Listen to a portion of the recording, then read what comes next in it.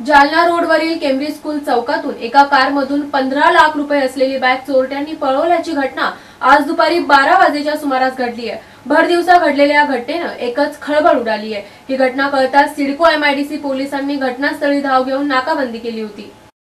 पाचोड येथील वर्धमान नागरी सहकारी बँकेची रोकड घेऊन कर्मचारी कार क्रमांक एम एच वीस ई ई अठ्ठ्याण्णव पन्नासने औरंगाबाद येथे येत होते.